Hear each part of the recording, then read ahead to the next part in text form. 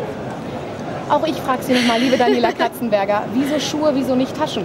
Zum 20. Mal werde ich das heute gefragt, warum Schuhe, warum High Heels, warum Katzenberger Kollektion. Ähm, warum High Heels willst du jetzt wissen, ne?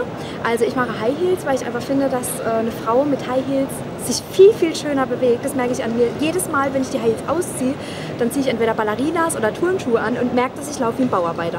Also so unbewusst. Und ich finde, das macht halt einen tollen Arsch. Ähm, der Gang ist viel besser. Man man fühlt sich einfach sexy, wenn ich es mal so sagen darf. Na, ist ja so. Man bewegt sich anders, man, man streckt die Brust raus, man macht so ein bisschen Arsch hoch, oder sagt man Arsch raus. Und ja, deswegen High Heels. Aber ich, halt, ich weiß auch zum Beispiel, dass ich ganz viele Mädels habe, die, äh, die gar keinen Bock auf High Heels haben, die das zwar schön finden. Man nehme zum Beispiel meine Schwester die findet 12, 12 Haken ganz, ganz toll, aber die kann nicht drin laufen. Und deswegen habe ich auch welche gemacht, die vielleicht nur 6 oder 7 cm groß, äh, groß sind, ja, hoch sind oder Flipflops. Und ich habe halt geguckt, dass für jeden Geschmack was dabei ist.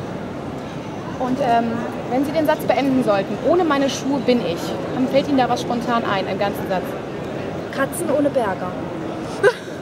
Das vielleicht mal, genau, am besten, weil ich rausgeschnitten werde, ja. auch zum Glück. Einfach den ganzen Satz vielleicht, ohne meine Schuhe bin ich. Ohne meine Schuhe bin ich wie Katzen ohne Berger. Also nur eine halbe Frau. Noch eine letzte Frage. Ähm, lieben Sie Schuhe und wenn ja, warum und wie viel haben Sie?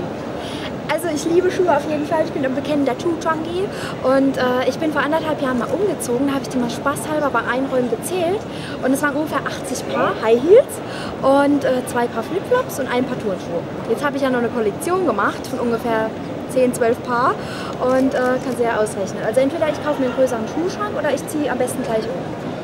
Eine größere Wohnung. und wer, was ist Ihr Lieblingsschuh von der Kollektion? Vielleicht schon mal für die äh, Fans, die das dann hören. Was ist denn Ihr Katzenberger Lieblingsschuh aus Ihrer Kollektion? Mein Lieblingsschuh... Entschuldigung, ich muss zu viel reden.